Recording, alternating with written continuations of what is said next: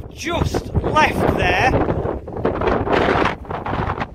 van was going past, open, open back van, and two big sheets flew off the van. I've just put one back over.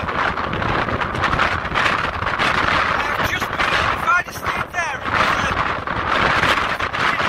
it would have probably taken me out. Literally, I have just been stood here with a dog. I'll stop. Right, that was mental.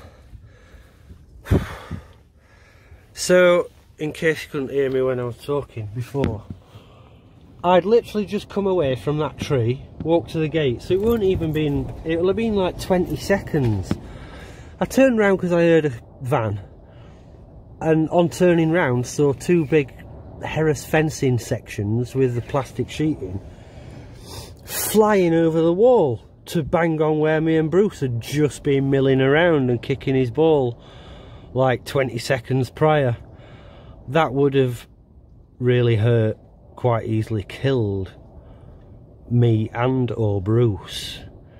Jesus, so I walked back up, well as you see, because oh, I'm babbling, I've got jit. so, yeah, the kid's like, I'll tie him down much better then. I said to him, I might do lottery.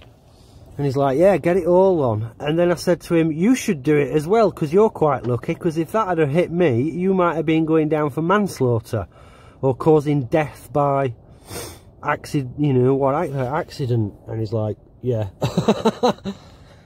Flipping heck.